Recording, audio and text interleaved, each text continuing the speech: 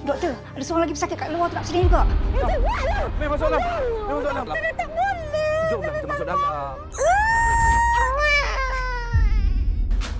Eh, adik. Aduh, yang satu ni. Terima kasih sebab awak sudi datang pameran saya semalam. Awak patut berterima kasih dengan kawan-kawan saya. Diorang yang beria ajak saya datang pameran tu. Oh, kalau macam tu sampaikanlah salam saya dan terima kasih saya pada kawan-kawan awak. Kejap.